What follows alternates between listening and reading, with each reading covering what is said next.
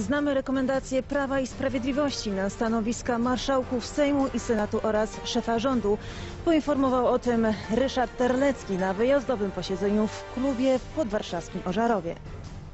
A w Infowieczorze powiemy także o tym, że CBA weszło do warszawskiego ratusza. Już jutro w szkołach tęczowy piątek i Państwowa Komisja Wyborcza, która wręczyła posłom zaświadczenia o wyborze. To jest Infowieczór, Emilia Zimicka, zapraszam na program. Prawo i Sprawiedliwość ma swoich kandydatów na marszałków Sejmu i Senatu oraz szefa rządu. Klub partii obradujący wyjazdowo w Ożarowie Mazowieckim zdecydował, że na marszałka Sejmu zaproponuje Elżbietę Witek, a na Senatu Stanisława Karczewskiego. Klub złożony jeszcze z dotychczasowych parlamentarzystów oraz gościnnie nowo wybranych zdecydował też, że Mateusz Morawiecki będzie rekomendowany na premiera rządu. O decyzjach, które zapadły podczas obrad w Ożarowie Mazowieckim rozmawiali goście programu Gość Wiadomości. Centralne Biuro Antykorupcyjne i Warszawska Prokuratura prowadzą śledztwo w sprawie wycieku ścieków do Wisły. Agenci CBA zabezpieczyli dziś dokumenty w stołecznym ratuszu i w Miejskim Przedsiębiorstwie Wodociągów i Kanalizacji. Śledczy sprawdzają, czy z winy urzędników mogło dojść do zanieczyszczenia środowiska. Pojawiają się też podejrzenia o niegospodarność państwowym majątkiem. Do imiennik cierpią. Największa polska organizacja zrzeszająca gejów, lesbijki, biseksualistów i transseksualistów organizuje jutro w polskich szkołach tęczowy piątek.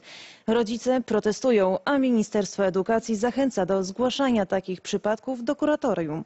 Karol Jałtuszewski. A o akcji Tęczowy Piątek rozmawiali goście programu O tym się mówi.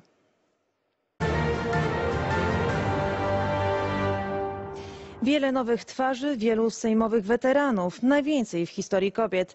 460 posłów odebrało zaświadczenie o wyborze. To formalnie jeszcze nie jest początek ich pracy przy Wiejskiej, ten 12 listopada. Do tego czasu ugrupowania wyłaniają kluby, ich szefów i kandydatów na najważniejsze stanowiska w parlamencie. Małgorzata Gałka. Wielka Brytania w szoku po odnalezieniu ciał 39 ludzi, którzy nielegalnie próbowali przedostać się na teren Zjednoczonego Królestwa. Wszystkie ofiary to obywatele Chin, zmarli z zimna. Wciąż niejasna jest rola w tej tragedii 25-letniego kierowcy ciężarówki z Irlandii Północnej, któremu dziś przedłużono areszt. O nowych wątkach tragicznej historii z Londynu Dariusz Bohatkiewicz. To początek kooperacji nie z tej ziemi. Polska Agencja Kosmiczna i NASA podpisały w Waszyngtonie oficjalne porozumienie o współpracy. Dla naszych naukowców i przedsiębiorców otwierają się właśnie kosmiczne możliwości, a o szczegółach nasz korespondent Rafał Stańczyk. W Neapolu rozpoczął się trzydniowy festiwal literacki dedykowany życiu i twórczości Gustawa Herlinga Grudzińskiego. Przygląda się mu nasza korespondentka Magdalena Wolińska-Riedi. To ekspozycja stulecia i nie mają wątpliwości krytycy sztuki. W paryskim Louvre otwarto jedną z największych wystaw dzieł Leonarda da Vinci. W 500. rocznicę śmierci mistrza zwiedzający mogą podziwiać ponad 160 jego prac.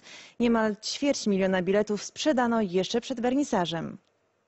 To był kolejny udany dzień naszych sportowców na Światowych Igrzyskach Wojskowych.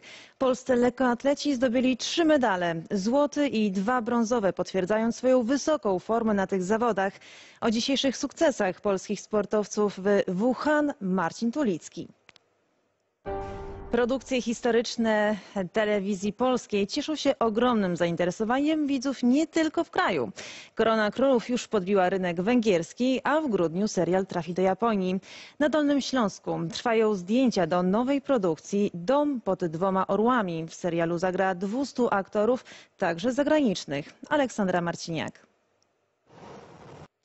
Kto prowadzi rabunkową gospodarkę na polskich jeziorach? Dlaczego w polskich wodach brakuje ryb, a pieniądze polskich wędkarzy wpływają z zagranicy, wypływają z zagranicy? Ekipa magazynu śledczego Anity Gargas jest na tropie kolejnej afery w Polskim Związku Wędkarskim oraz w Państwowej Straży Rybackiej. Był jednym z najwybitniejszych Himalajstów w historii. Jego, jako drugi człowiek na świecie zdobył koronę Himalajów i Karakorum. Dziś mija 30. rocznica tragicznej śmierci Jerzego Kukuczki. O szczegółach Tycjan Jakubczyk. A w Infowieczorze to już wszystko. Za chwilę program w akcji. Dziękuję za uwagę. Dobrego wieczoru.